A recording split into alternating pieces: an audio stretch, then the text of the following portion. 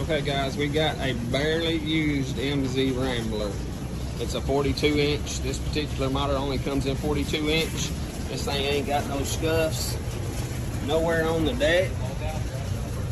Uh, this guy barely used this thing.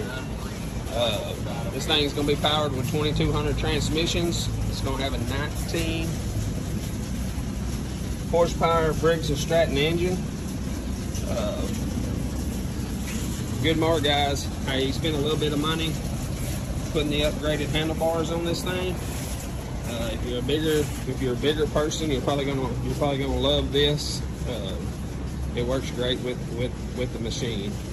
We're gonna try and rock this thing out for about 2,800 bucks, y'all. Come and get it. It's ready to go. Thank you.